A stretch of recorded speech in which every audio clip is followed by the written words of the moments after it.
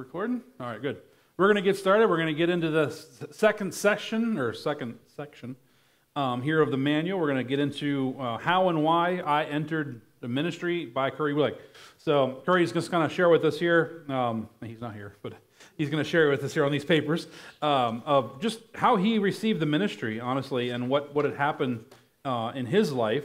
Um, and like I said, take time and read that prophecy on page 27 and, and 28. It kind of finishes up around 28. But it, it shows it shows how everything lined up with with you know Curry Blake taking over you know John Lake's ministry.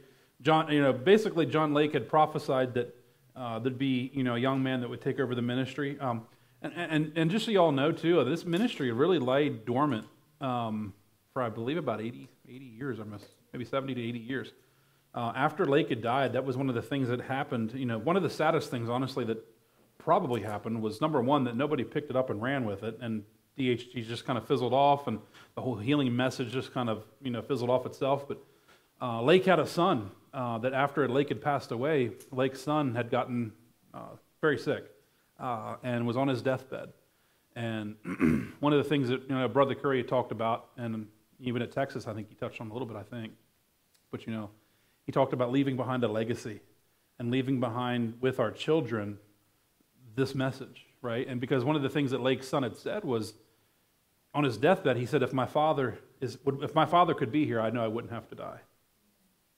And that's sad, you know, because here is, you know, John Lake with this, this, this amazing man of God who ran with this ministry, who established these healing rooms, who, who got the revelation of, you know, God is healing today, you know, and he does, he does heal. You are healed, you know. And he ran with it and he ministered healing to hundreds of thousands of people, and yet his son didn't grasp the message. You know, and that was probably honestly one of Lake's downfalls was not leaving behind the, the message, not leaving behind a legacy. Uh, one of the things that Brother Curry encouraged us to start doing, and I would encourage you to do in your own personal ministry, is start journaling. Um, start recording these testimonies. Take pictures. I mean, especially if the people would allow it, you know, I mean, take pictures. You know, ask them to do a little. We have the best journal right here. Like, hey, you know, you just got your leg healed. Can you give a testimony? You, do you mind giving a testimony? Have them record it. Record that testimony. Why? Because you'll have those things to pass on to your children and your grandchildren and to say, look what God did. And, and Brother Curry talked about it. He says, I've got a book. He says, I've got books from when he's been in South Africa and different countries and even in the U.S. And, you know, people like, he said, the one, one picture he's got in a one book, he said, I've got a man with a withered hand. He says, and I, and I got my hand, picture of me laying hands on it. He says, and I got a picture like two days later at the next service. He's like, it's, it's completely working, right? And he's like, I want to be able to sit down with my grandkids and say, you know, your pawpaw laid his hands on that man's hand, and two days later it's completely restored. Why? Because you can do that too, right? And it got why? Because God's no respecter of persons, you know. So we need to leave behind that legacy for our children, so that way when we're gone, they can continue to run the race. It's it's that baton that we pass on, right? We finished our our our, our lap, right? And now it's time for you to do your lap, right? And so we need to leave that behind for our children. So um, again, that's kind of why we're going over some of this historic stuff too, you know, the, the history behind all this, because it's important. We need to know what, what baton we're grabbing a hold of, right? And so we'll look at Curry's, some of Curry's stuff. He was born in uh, April 1st, 1959. Excuse me. He was an only child, uh, still is an only child. Um, he says, uh, when I was 17 months old, uh, we were at a family reunion. And my, as my father was leaving, um, I slipped out the door and was behind the car without, uh, without seeing, without, and, and car without him seeing me. Uh, he backed out and ran Curry over, ran him over. He was only, uh, yeah, 17 months old. Um, basically, when he ran him over, it, it basically scalped him. Uh, I believe it was from his right ear. To this day, if you actually look at Curry's, if you were close enough, you look at his head, he's, he's actually got a scar. It's underneath his hairline. You can't see it, but it's a scar basically from this ear to that ear. It basically took this ear off and basically took all the skin and everything off to the other side. When his father heard the noise, his father had jumped out of the car, seen that Curry was actually up underneath the wheel well between the car and the, and the tire, runs back in the house and says, I've killed, our, I've killed our baby. I've killed our baby. Curry's grandfather runs out of the house, gets Curry out from underneath the car, picks up his ear, which is now also on the ground. They drive him to a local hospital. Actually, it says on here they grandfather ran out, picked him up, took him to the local hospital, which was just a couple miles away. They get to the hospital, and basically, doctors say that he'll never live. That's the first word. That's the first, let's put it this way. That's the first doctor's report they get. He'll never live. That's what he tells his mom. Now, his mom Uh, his, I think his father was followed more Baptist, but his mom was a Pentecostal, right? And so his mom went to praying, and that's because that's what a Pentecostal woman does. She goes to praying, and uh, so they tell him first he can't live, and then he, she goes to pray, and the doctor comes back out a little bit later and says, well, you know, if he lives, he'll be a vegetable, right? And his mom said, well, that's not good enough, so she goes to praying some more. Um, they come back out a little while later after she's praying because they're, they're, he's in the surgery room. They're doing surgery on him, trying to get everything repaired, fixed back up. And um, they said, well, he said, there's no signs of brain damage, right? But the doctor also said that he'll, have, he'll never have hair or hearing. He won't be able to hear. So mom says, well, that's not good enough again. So he goes to praying again. She goes to praying again. Well, six hours later and 172, 172 stitches later, uh, he was completely fine.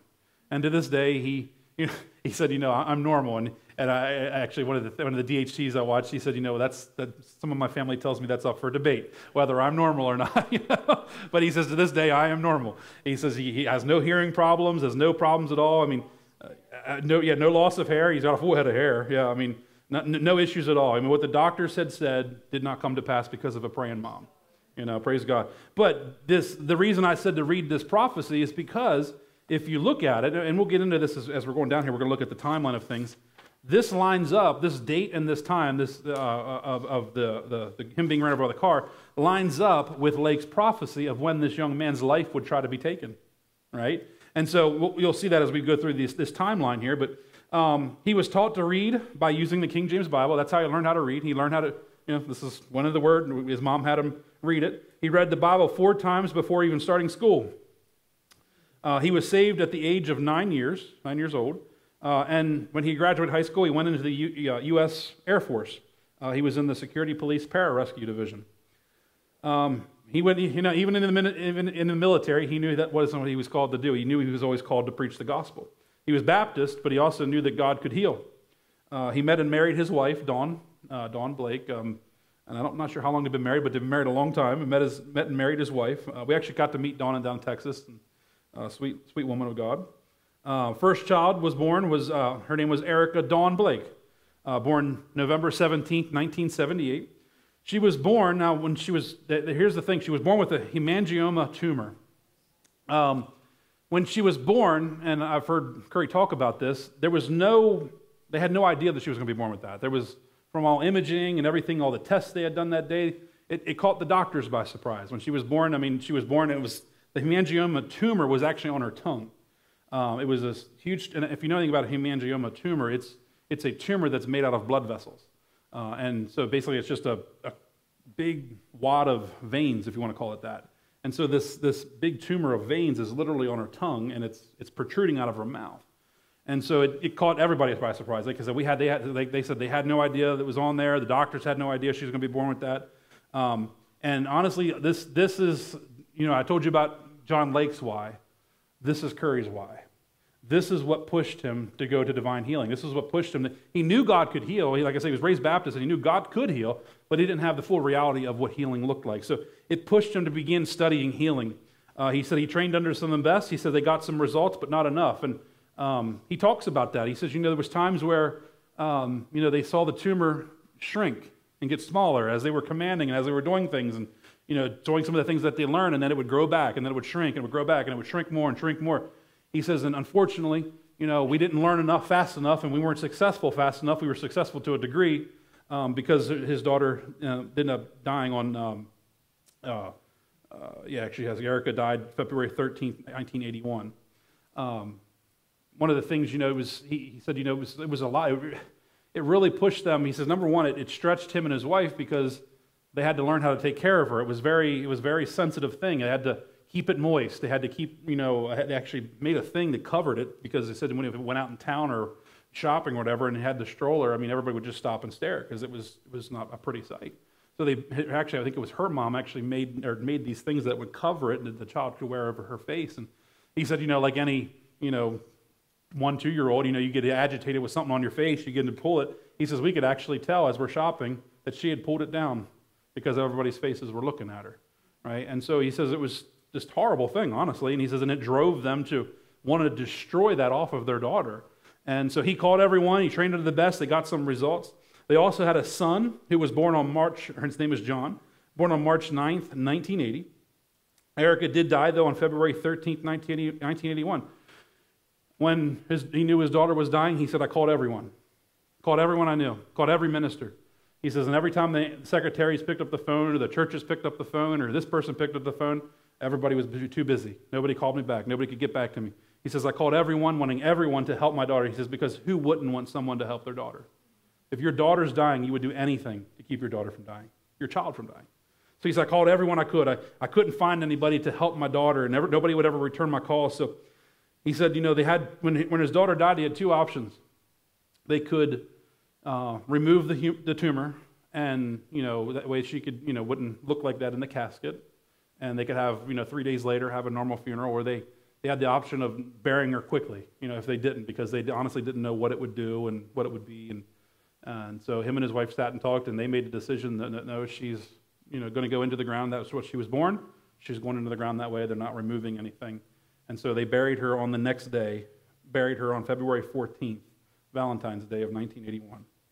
Uh, Valentine's Day for Brother Curry is a day he'll always remember. You know, it's one of those days when things like that happen. You know, you never forget those days. And so every Valentine's Day rolls around, he remembers that. And, you know, in a good way. It's not like he relives that and thinks, you know, it's, you know, he remembers it a good way. And Brother Curry even talks about it. You know, what, one of the things that drove him to healing was this. And that's probably the main thing that really drove him to healing. But there was time, he said there was times, especially in the beginning, when I was just like, I wanted to kick the devil's teeth in. You know, and it just pushed me to destroy sickness and disease even more. And he said there would even be times when I would minister to people. He said, and I would, I would say, you know, Erica, this is for you. And I'd lay my hands, right? And right, to remind the enemy, you took my daughter, and now you're going to pay for it, right? And so uh, his second daughter was born um, October 20th, 1981. Her name is Crystal. Um, and then they had a third daughter, uh, Angela Rebecca Lake. I think she goes by Rebecca. But she was born November 6th, 1982. Um, you know, Curry made a vow to God. He talks about that standing that day on Valentine's Day in McKinney, Texas, burying his daughter, he said, I made a vow to God to find answers and to help others. Why? Because he says, nobody should have a grave like I have. No, no parent should have a grave. And so he made a vow to God the Father, if you would teach me everything about healing, he says, I will help others. I will, I will be that man. That was one of the things he said. He says, I will be that man for someone else because there was nobody there for me that day. So he studied all the healing evangelists, Wigglesworth. He studied Wigglesworth, uh, found Wigglesworth to be amazing, but Wigglesworth never reproduced. He heard of Lake. Uh, you know, one of the things about John Lake, is he did it, he taught it, and he reproduced it. Searched more info and found Lake's daughter and son-in-law. Uh, that was uh, Gertrude and Wilford Wright. Um, that was Gertrude was Lake's daughter, and uh, Wilford was his son-in-law. He found out he just through through uh, you know phone books and stuff because they didn't have you know couldn't just jump on the internet back then. And he found through phone books and stuff. He found their phone number and began to call them, and they ended up having weekly phone calls and he would sit, he's like, I would sit, he's like, Brother Curry's like, I would sit at the table with a notebook and I'd be on the phone with, you know, his daughter and his son in law and just every, asking them all, because he says, and he says, the crazy thing is the more questions I had and the more questions I got answered, you know, the more, actually, the more questions I got answered, he says, the more questions I had, right? So he says, I'm writing down all the answers as I'm talking to him. He says, and then we'd hang up, you know, and he says, and I'd look and he, I got more questions, right? So he's like, I'd write all those questions down. He says, this went on and on and on, week after week after week, having phone calls with them. At some point, uh, Gertrude and Wilford asked him, he says, You know, can you share some information about yourself? Right? Because he had such, such, a, such a, I say, a hunger for, you know, what Lake did and Lake's material and Lake's teachings. And they said, You know, we want to hear more about you. So, you know, you know tell us your testimony. And so Curry gives them his testimonies, gave them dates of things that happened. One of the things that, when they, when they found out that his, his life was you know, the enemy tried to take his life when he was young. Evidently, Gertrude and Wilford Wright were like, uh, we need more information about that because they remembered this prophecy that you got in your book. They had that. And they said, we need more information. What, what date was that? What date did you get run over by that car? So he had to call his mom, and he called his mom, and she gave him the exact date. And, and um, he called Gertrude and Wilford back, and he says, this is the date. And he says, as soon as I gave him the date, he says, uh, uh, Wilford actually says, yeah, I thought that was the date. And he goes, What do you mean you thought that was the date? He says, Well, he says, There's a prophecy that says that, you know, a young man's life would try to be taken then. And so we were pretty sure that that was going to be the date you came back with. And he was just like, What? He says, Yeah, that prophecy also says that that young man whose life is trying to be taken at this time would be the young man that you would pass on the ministry to. And so that's kind of how that, that whole thing came about. And so um, he gave his testimony, gave dates, like prophecy. Um, uh, yeah, the, one of the prophecies says that he was born the, the year. Yeah, he was one of the prophecies. The prophecy says that that Curry would be born the year that the country quits growing, 1959. And so that was the, the that was actually how how defining this prophecy was given. Um, 25 years later, to the day of Lake's death, um, Satan tr- tries to kill Curry, brother Curry. So again, just that's how many, because, because Lake had prophesied that 25 years after my death, there'll be a young man that Satan tried. So it all just lined up. So they knew this was the man that Lake had prophesied about. And so they turn, basically, they turn everything over to Brother Curry. They send them all of Lake's teachings, journals, everything. They basically send them everything. Um, December 1983, Gertrude dies. Uh, June 1987, Wilford dies. Um, passes on all remaining info to Brother Curry at that time as well. Um, told God if, or sorry, told God it will die if I can't carry it with the same power and results that Lake had. This is what Brother Curry said. You know, I need to understand. You know, I need to understand this. 1989. Um, oh yeah, so 1989. Uh, this was another day that was a huge day in Brother Curry's life. Um, this is when his daughter, his third daughter, um, Angela Rebecca Lake, fell. Excuse me, fell from the second floor of their two-story condo. I think it was a townhouse actually, and. Uh, he says he remembers that day. He said he was, he was upstairs in his office. He was studying the word, and he said he just heard this crash. And he was like, this boom. You know, and he was like, what was that? He ran down. And as he ran down, he saw his daughter Rebecca laying face down on the concrete patio out back and just literally laying in a pool of blood. And so he said the first thing that happens when that happens is the enemy says, Yep, you're going to bury another one. Right? And he grabbed his daughter, Rebecca, and he says, No, I will not. And he drags her in the house, drags her lifeless body in the house, props her up against the wall at the bottom of the stairs. And he says, The only thing I knew to do at this point, he says, The only thing I knew to do was just to, just to yell at her and say, You will live and not die. You will live and not die. You will live and not die. He says, For 45 minutes. He says, Meanwhile, my wife's running down the stairs. She's freaking out. My son's freaking out. Everybody's panicking. He says, I literally had to turn around and tell them, Shut up, either believe or be quiet right? And he says, I went back at it again. You will live and not die. You will live and not die. He says, for 45 minutes, this goes on. This goes on and this goes on. And finally, at some point, um, you want to shut those? Yeah. Some, finally, at some point, uh, her, his daughter, who's literally slumped over, goes, just with, this, takes in a breath and, and, and kind of coughs, right? And literally coughs blood into his face and comes back to life. And he knew immediately as well. He knew again, he, he uh, one of the things he said, you know, give her something to drink and to eat, give her a piece of bread. Why? Because, again, that's why Jesus, remember when Jesus ra- raised up the little girl and said, give her something to eat? He found out later that that is so vitally important. A doctor told him that that is so vitally important that you did that, and that's probably what saves your daughter's life as well, because when you die, your organs shut down because you're no longer alive. He says what happens is, is when you die and you come back to life, to have something put on the tongue, like a piece of bread or something, causes the saliva glands to become active, which tells the rest of your organs, oh, we're awake now, we're alive now, right? And it, cre- it actually causes the other organs to become active again, right? And so he did that and uh, put her in the hospital, put her in the ambulance, took her to the hospital. You know, they continued to pray over her, speak life over her. Um, all the bones in her face, all the bones in her face were healed. I mean, her, the broken, I think because of her hands, I think were actually crushed. They were healed as well. Um, they actually ran some, I don't know if they can run blood tests, but he talked about they ran some tests on her. Um, found out that she was basically clinically dead for 45 minutes, which confirmed what he knew when he was saying, You will live and not die. So for 45 minutes, she was dead. Now, I don't know if you know anything about that, but I think after 30 minutes of no oxygen to your brain, you're, you're pretty much brain dead. So she was beyond that limit, so she should not be alive by any, by any intents and purposes. But how do you know? But God. Amen. So Curry got a hold of that. He, knew, he already, like he said, I didn't even know what I was doing. He says, the only thing I knew to say was, You will live and not die. And just by that decreeing over her, saved her life.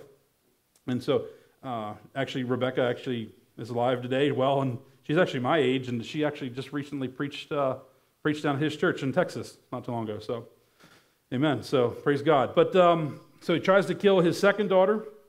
Um, where am I here? Yeah, 1989. Um, he's still studying and researching. 1995. Um, Pauline Parham preaching in Houston, Texas suburb. He goes to see Pauline Parham. Uh, while there, I took uh, uh, Miss Jeters, the daughter in law of the man that Lake left in charge of the church in Houston, uh, found her in a nursing home. So he found out her, found her in a nursing home, found out that she also had one of Lake's manuals. Uh, one of the things that you know Curry was trying to get a hold of all this time was was a manual because that was one of the things he found out that all of the DHTs that he trained had a manual. He's like, I need to know what's in that manual, right? So he finds this lady who's in a nursing home who has a manual, who was one time at a DHT, and so he goes and visits with her. Uh, he's like, again, it was kind of like the Gertrude and Wilford Wright situation. I'd be there every week, sitting in a room with her. You know, and he, you know, she, he's asking questions, and then one day he's like, I'm sitting there and asking questions. And She's answered, and finally, she, she, he's like, I could tell she was getting frustrated, and he's like, finally, she she kind of snips at me and says, You know, if you just had a manual, you wouldn't have so many questions. And he goes, Well, you have one? She goes, Yeah, I got one. He said, Well, can I have it? He goes, No, you can't have it until I die. Right? He's like, he says, So I left there that day going, Father, she's lived a really long life. lived a really long life. You know, I mean, Father, I know. But he said, I think it was like three years later or something, uh, she had died. Or actually, I think, yeah, it's two years later, she had died. And the manual, she had promised him that when she passes away, she goes, That manual will be yours. And the manual was passed to him. Uh, he received the manual. He started studying it, ministering. And here's the thing when he received the manual, started studying it, he began to minister different. And he says, one of the things that he said that just revolutionized their ministry, uh, Curry's ministry, was the way they began to pray. You know, they, they, they were no longer asking God to heal. He says, we were commanding this to happen. He says the simple, he says the simple thing of just commanding to happen, right? He says literally, he says, our, he says by, I think by 50% or even more, success rate just jumped immediately. He says we just saw an immediate jump in success rate by just speaking and commanding this to happen instead of asking it to happen. And that was one of the things that he really got out of the manual as well. Um, he spent nine months ministering in his home, inviting people over. 100% of them were healed.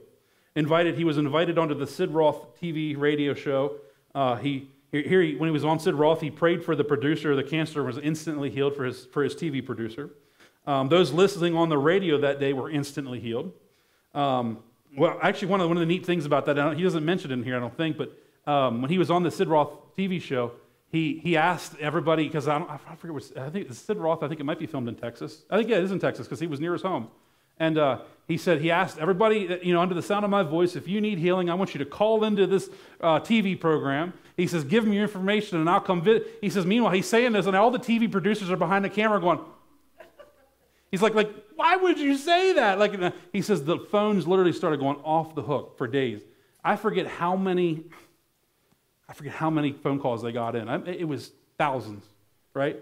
And so Curry, he took every one of those calls. He says, and it took me weeks and weeks to do them all. He says, but I went to every person's home and ministered to every person that called into that radio program. Showed up at their door, knocked on their door, right? He says, and usually if I told him I was coming, I call him ahead of time. He says, I would show up He's like, and it wasn't just them. They had invited 15 of their friends too. He says, I, I walk in and there's a whole house load of them. You know, he's like, what in the world? You know, so he ended up being way more than even the people that just called in. So, but constant healed, healed, just constant healed. Everybody getting healed. Everybody being ministered was healed. Um, you know, through this time of taking over John G. Lake's ministries, 50,000 DHTs have been trained and now getting results. Uh, now training, they are now training on an average of 10,000 DHTs per year. So uh, new divine healing technicians are being added every year. Um, uh, just in just for just Brother Curry, nine raised from the dead. Uh, two babies in the womb, dead for two weeks, raised back to life. One woman in a morgue came back. Angelo, who was shot by his uncle, died and came back. That's a kind of a neat story. If you have to go listen to Brother Curry about that one, he, you can find it on YouTube. But he talks about Angelo. It's when Brother Curry was invited to Italy to do a DHT, and he showed up there, and a guy, I guess, the guy who was kind of running this or the DHT or I guess hosting it, his, his, this, his, you know, this guy was shot in, his, in the back by his uncle. And so Curry went to the hospital and he's basically laying on life support. And he goes in there and lays hands on him, right? And he said, you know, he just commanded life to come back into him. He comes back out and he says, everybody stand on the outside of the hospital room. He's like, Brother Curry, like, you know, what did God speak to you? And he's like, believers shall lay hands on the sick and they shall recover. And they looked at him like, okay, well, what, God did speak, what did God speak to you? Like, believers shall lay hands on the sick and they shall recover. Well, he goes back, he goes, I go back to my hotel room, and he says, and it's later that night I get a knock on my door. Right? And he says, and here he opens his hotel room door, and here's here's this guy standing in front of him. It's one of Angelo's friends or I don't know, maybe his brother. He says, um, Brother Curry, um, Angelo, Angelo, he died. Angelo dead. He says, Curry's standing there and he goes, hmm. Surprises me. And shuts his door. right? Shuts his door. Right? And he's like, he says, I go back over and I tell my wife, he says, I'm going for a walk. He says, and my wife knows if I usually tell her I'm going for a walk, this means I'm going to pray. He says, and I went out for a walk. He says, and for 45 minutes I walked around my hotel block. He says, praying in tongues, loud, strong, just going, going at it in the spirit, just praying in tongues. He says, until I felt the release. He says, I went up, went to bed that night. He says, I get up the next morning. He says, I show up at the DHT. He says, I walk in, everybody's rejoicing, and they come up, Brother Curry, Brother Curry, Brother Curry. They're grabbing hold. Haven't you heard the news? Haven't you heard the news? He's like, What's the news? He says, Angelo, he live. Angelo, he live. He says, That's right. It's why believers will lay hands on the sick and they shall recover. Right? So these are some of the things that you will see as you begin to walk and minister in this divine healing. Amen? Amen. So um, cancer is healed, AIDS have been healed, epilepsy, epilepsy been healed, leukemia has been healed, tuberculosis healed, blindness healed, totally blind, seeing, uh, seeing light through his glass eye. There's actually a guy he ministered now seeing through a glass eye. Isn't that amazing? Uh, deafness healed, Down syndrome healed, missing organs replaced, removed organs recreated, short limbs lengthened. Um, John Lake had 20,000 healings per year. JGLM now experiences 30,000 healings per month. That's how much the ministry has grown and expanded. The good old days were meant to be surpassed. That's why I said everybody wants to talk about going back to the good old days. You don't want to go back to the good old days. We're actually to, we're to grow from the good old days. Amen? A little girl in North Carolina with leukemia, three to four transfusions per week, she's been healed. A little Spanish girl in Dodge City, Kansas, healed. Man with a steel rod in his back in Harrisburg, PA, right up the road here, healed. Remember the story about that? Brother Curry shared about that. He said that he prayed for that man. He had a steel rod in his back. This man, he says, this man came up to the healing line. I said he couldn't even bend over, right? I mean, just literally fused together. I mean, the man could not bend over like this, right? Praise for him. I, I even, when I say pray for him, please understand I'm saying ministers healing to them. We don't pray for the sick, right? We minister healing to the sick. Ministers healing to him. Here's the thing man can't bend. Nothing, nothing's changed instantly, right? But we don't move off of that position. Ministers healing moves down the line. Then the guy goes back to his hotel room that night, lays in his hotel room, goes to bed, wakes up in the morning with the steel rod laying next to him in his, next to him in his bed, brings it back to Brother Curry and shows, here, it's gone and completely bends over. That happened in Harrisburg, right here in our backyard. Anything's possible with God. Come on, church. Anything's possible. Um, where are we at here? Uh, Harrisburg, yeah, woman uh, in normal, Normal Illinois, crippled for seven years, healed. Man with Parkinson's in Dallas at David Hogan meeting, completely healed. Uh, dead girl in Virginia could, could hear better, Dead, yeah, I'll say deaf girl. A, deaf, oh, oh, a dead girl healing better, hearing better is pretty good too, I guess. A deaf girl in Virginia hearing better, and then her mother. Uh, paralyzed, you know, pastor paralyzed in motorcycle accident, healed. He had a 10% chance to live, 0% chance to walk, held a three, day sur- three days later, totally healed. Uh, paralyzed man on, a cot in Portland, walked in the meeting. Portland, Oregon, man with terminal cancer healed. Angelo in Italy, that's the one I was talking about, shot by uncle. Life support, died and came back. Thai woman, cancer, totally healed. Went to hospital later for breathing, gave wrong medicines. She died. She saw Jesus, came back. She was a Buddhist. She was no longer a Buddhist after that day, trust me. Thai woman uh, with AIDS, uh, John, actually his son John, commanded this woman with AIDS, and, the, and AIDS went. The doctors confirmed the AIDS was gone. Uh, John also, his son John, witnessed a Buddhist woman praying for rain. John commanded no rain for three days, then rain. The village opened up to the gospel. And sound like Elijah? who commanded no rain, right? And then he says, and it won't, it won't rain till I say it'll rain.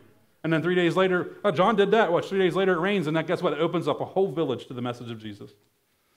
That's walking in dominion, right? Um, Jehovah's Witnesses uh, on the side of the road, healed, uh, ministered to, set free. Boy, boy that stole car, killed and chased, raised from the dead. Uh, man with a heart attack, raised by the cell phone. I remember he told the story about that. Through a cell phone. Brother Curry on the phone. Told him to come back to life, and he comes back to life. Man in Jacksonville, Florida, brain dead for 13 days, had a contagious virus, raised, he was healed, raised two babies in the womb as well. Uh, deacon and deaf woman in Grand Junction, Colorado, both healed instantly. Woman dropped dead in service in Harrisburg, PA after he left, after girl, the Curry had left. That was when he was in Harrisburg. The same meeting with the man with the steel rod in his back. After, so after he leaves, a, a woman drops dead in their service. They raised her back up to life Why? And thank God that he was there to, to teach them for three days, so then after three days they could do it themselves. See, here's the thing we got to realize, and I'm, I've got to watch my time here. Are we good? Yeah, we're good for a while. Here's the thing we got to realize. When you, hmm, how do I say this? Authority and dominion requires responsibility. Right? If you're going to walk in authority and you're going to walk in dominion, and you're going to walk in divine health, and you're going to be a minister of the gospel that ministers health to people and healing to people, you walk in responsibility. Right? You're responsible for it. Now, see, that's one of the main things that Christians have a huge problem with. And a lot of the times we build up these sacred cows because we don't want to have responsibility. Because if it doesn't work, then we have something to fall back on. Right? Well, God must have not healed him because XYZ. Or, you know, well, maybe he died because it just was God. You know, this is another one that's just nails on a chalkboard for, chalkboard for me, especially for young kids. You know, God needed another angel. And they'll put that even on the, on the, on the casket, you know, another angel in heaven. God doesn't need to kill your little baby to have another angel. Your, your baby in heaven doesn't receive wings and, and, and is, an, is an angel anymore, right? I mean, God doesn't need to do that, you know? That's just, again, it's another, what it is, it's another outlet that makes us feel comfortable about the loved one that we lost, right? Instead of accepting the responsibility that we messed up and we failed. I remember it wasn't long ago, we had a lady I was ministering to, and just because we're recording, I won't say names and stuff, but, you know, um, it, it hit me hard because we were ministering to her. She had she had cancer, and uh, we were seeing victory. You know, we were seeing victory. Justin knows what I'm talking about. We were seeing victory. We were seeing good things, and you know, we went over to her house several times and ministered with her. And um, you know, I remember getting the call the morning she had passed away, and I didn't deal with it good. You know, I sat on the back porch and I sat on our swing, and I was I was a mess. And you know, she had she came out and talked to me talked to me for a while, but I sat back there and I talked to God for a long time because I was mad. Now, I wasn't mad at God, I was mad at myself. It wasn't his fault, even though I had a lot of, even though I got a lot of, I still got a lot of questions. You know, and, and, and that's one of the things, you know, like Brother Curry said to Texas. Actually, I shared that testimony at church the other day. You know, that man was like, you know, he's like, I was going around praying for everybody. Everybody was getting healed, and I don't even know what I'm doing. Brother Curry's like, I got news for you. None of us know what we're doing. We're just ministering what we've been given. It's the life of God. We do our part, He does His. You know, and, and it wasn't that I was mad at God. It wasn't that I was like, oh man, you know, God, why didn't you do this one? Why didn't you do this one? It was like, God, what am I missing? What am I? Because it's my fault. She shouldn't, she shouldn't be dead. She should be seeing her grandkids graduating from high school. She should be there celebrating this day. But now, now hear my heart. I know where she's at. There's just no doubt she's with her Lord and Savior, right? But she went too early. It's not the Lord's will that she went that early. It's not the Lord's will she died of cancer.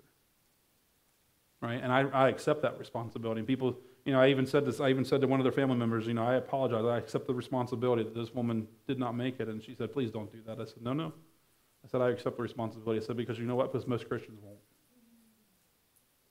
Most Christians will brush it off and say, you know, well, it was probably because of this, or it's probably because of that, or maybe it was her time, or maybe it wasn't God's will. No, no, it was my fault. You know, and, and, and at the end of the day, what it does is it drives me to do better. It should. It should drive us to be better, to walk better, to keep this message pure, to walk in power, to walk in authority, to walk in dominion that we're called to walk in, and to not let the enemy hinder us. It should cause us to push harder, go further, be stronger. I mean, it should, it should cause us to grow. We use these situations where we fail. God didn't fail. Where I failed, and I use it to make me to learn, to grow. Why? Because here's the reality. Even though I accept responsibility, there's grace and room to grow. Why? Because God gives us grace. He gives us room to grow.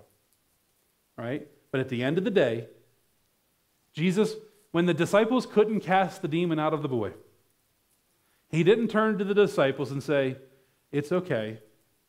You're not born again yet. You haven't received the baptism of the Holy Spirit yet. It's okay. No, what did he say? He says, It's because of your unbelief. He rebuked them. He actually, I think it's in Luke, he actually says, You faithless and perverse generation. Wow, he rebukes them. right? And so he doesn't, in other words, he doesn't cut his own disciples any slack. And we shouldn't cut ourselves any slack. Right? And the disciples learned that day. It was my fault. It's because I had unbelief. And we'll get into that a little bit later, and I'll explain to you, I think, why the disciples had unbelief and what they saw and why, why they saw what they saw caused them to have unbelief. Because they saw the boy wow, you know, foaming at the mouth, wallowing on the ground. I mean, they, I believe, I honestly believe the disciples saw the severity of the situation and they got their eyes on the circumstance rather than walking by the Spirit and walking in what they knew. Because that's the reality. When we get our eyes off the, off of the truth and we get our eyes on the circumstance, we take our eyes off of what's the most important the Word of God. What does the Word of God say over that situation? The Word of God says that woman is healed. The Word of God says that man is healed. The Word of God says that woman is raised from the dead. So do it. It's our job to do it. James, James says, don't be deceiver, or don't be deceived, right? Don't be like the man that looks in the mirror, sees who he is, and then turns away and forgets who he was, right? Be the man, why? Don't be just a hearer only, but be what? A doer. We're called to do this word. We're not called just to hear this word. We're not called to read this word. We're not called just to sit here for three days and then do nothing, right?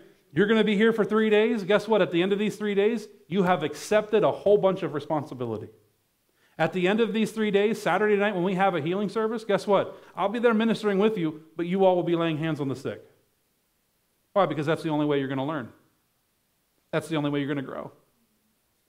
I don't know about you. I, any career I've ever held, any job I've ever held, whenever I've held a career or had a job as far as like secular jobs, please understand, if I had to learn a new trade or learn a new skill, I could read the manual front and back until I, I, until I was blue in the face, until I remember, I could read it and read it and read it. Mm, there's paper in my Bible. I could read it and read it and read it, right? But I really wouldn't truly learn it until I got my hands on the tools and did it. That's how I learned. And that is how you learn. You're not going to learn by just reading the Word of God constantly. You will renew your mind, which is good, but also renew it to a degree. Because renewing your mind to a degree is just reading the Word, memorizing the Word, meditating on the Word. But to a larger part of the degree, renewing your mind is actually doing the Word of God. Because what you do is you then solidify in your mind and in your body and in your soul that I believe what this word says. That I will do what this word says. That I will receive the Great Commission to go into all the world, to, to set the captives free, to make disciples of all nations, to heal the sick, to raise the dead, to cast out demons. I receive this commission, so therefore I receive responsibility to do what I'm called to do. And that's why I said at the end of the day, most Christians, don't want to receive responsibility or accept responsibility. We'd rather say, well, you know, it's this reason or that reason. Or we'd be okay. A lot of Christians are okay with just sitting in a service, sowing money, and saying, You go, I'll sit here. But they do. Every Sunday. They think, well, I'll just put my I'll put my money in the offering plate, and God will use that, and God, God will spread the gospel through someone else. That's not you going. That's you sowing, but that ain't you going. You are called to go until you're told not to. You hear me? We are to assume that we're called to go to reach the lost, to preach the gospel, to heal the sick, until we're told not to. I even say this all the time it's the great commission, not the great suggestion.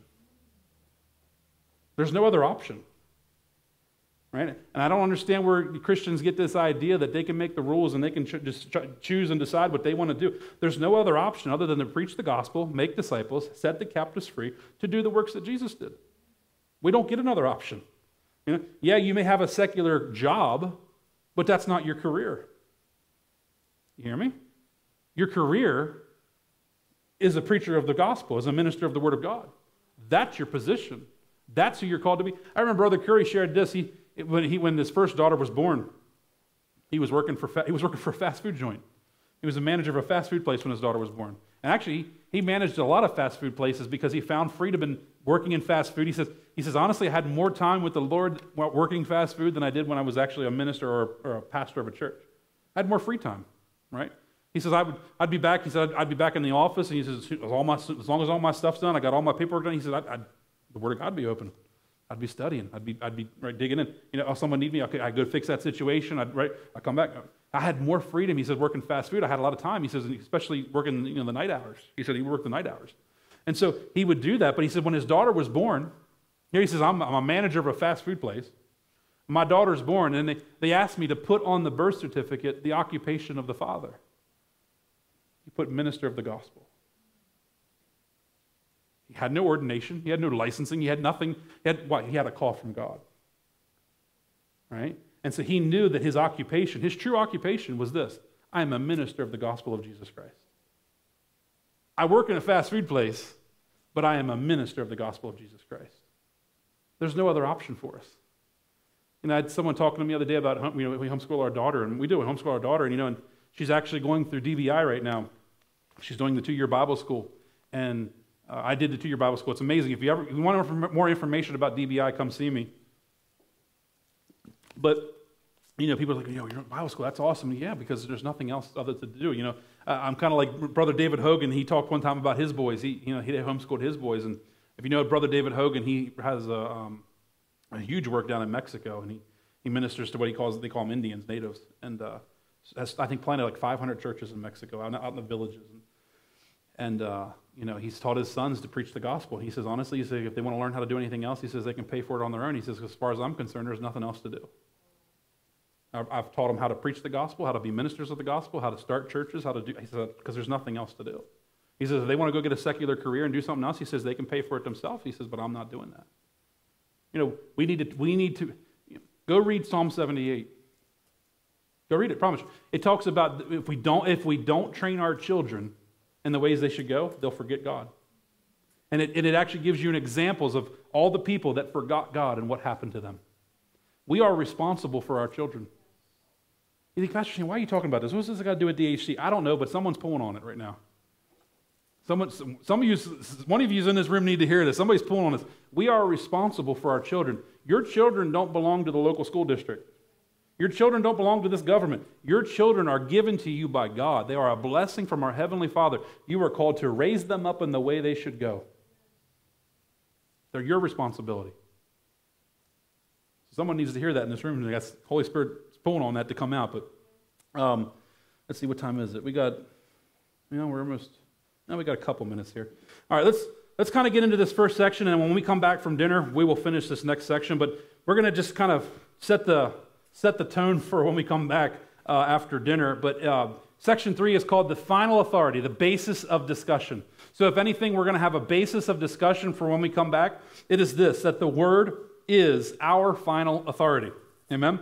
If we're going to talk about anything this week, or this next couple days, everything that we talk about, we're going to have to agree that what we're talking about is the Word of God, right? Because if it's anything else, then we, then we have room for argument right? But if all we talk about is what's in here, we can agree on that, right? We're not gonna we're not gonna talk about things be like, well, I can't really find no no no. What we talk about is gonna be in here because how many know you can't argue with this word? You can't argue with it, right? Because if you're gonna argue with this word, you're gonna argue with God. Right? I I'll even say this. This may be a little harsh, but I'll, I'll say it because it needs to be said. If I choose, pick and choose what scriptures to believe, right? I, I, in a sense, am denying Jesus Christ. Jesus was the Word made flesh. So if I pick a scripture out of here and I say, okay, well, this scripture says that all should be healed or all can be healed, well, I don't know if I believe that. What I've done is I've denied Christ because he was the Word made flesh. And Jesus said, if you deny me before men, I'll deny you before my Father. Then we wonder, why don't people get healed? Well, you denied him. And he says, if you deny me, I'll deny you before my Father. So if you're going to say, well, I don't know if healing's for today, then Jesus is going to say, well, see, Father, they denied me, so we can't do anything about that. See what I'm saying? See, God himself has even set himself to the boundary of his word. God won't go beyond the boundary that he set right? And so we're going to look at that when we come back. We're going to look at how God has forever settled his word in heaven. We must settle it here on earth. That's the next statement there. And when we come back, let's actually, we'll, we'll stop here. When we come back, we're going to look at Psalm 119. We're going to break into that. Uh, we'll, go, we'll go looking into that. But please understand what I'm saying, though, is, you know, the, the, the word of God is our final authority. You know, if we're going to deny Scripture, we are, I, I, used to say to a degree denying Jesus, but we are, not even to a degree. We, if we deny Scripture, we're denying Him because He was the Scripture lived out. Amen? Okay, cool. Let's, uh, let's break for dinner. Let's plan on being, it's 345. Uh, we are going to start up on time at 6 p.m. So um, we're going to start, uh, start up on time. It actually gives you a little over two hours. So we're trying to run each session about 45 minutes. Um, in the back, uh, there is some papers for those of you that aren't local, or maybe you just kind of you know don't know Littlestown that well. Um, there is some papers in the back on that table of some food options around town. So if you want to uh, go find a place to eat, um, there's food options there. There's the, the, addresses, the phone numbers. You can put in your GPS. You can find them. Get some get some dinner. We'll get back here. We'll meet back here at 6 p.m. We're going to start start at 6 p.m. sharp because we got three more sessions to get through, and we'll get through them this evening, and we're going to have a good time. Amen. Y'all getting something out of this? You enjoying this? Amen. Praise God. All right, I'm excited for this afternoon because we're going to get into some of the good stuff. Amen. Amen. Go, well, go enjoy dinner. And listen, as you're enjoying dinner, your waitress, your waiter, the person serving you, guess what? That's an opportunity to show Jesus to them. It's an opportunity to minister. Amen. Praise God. Go, go be Jesus.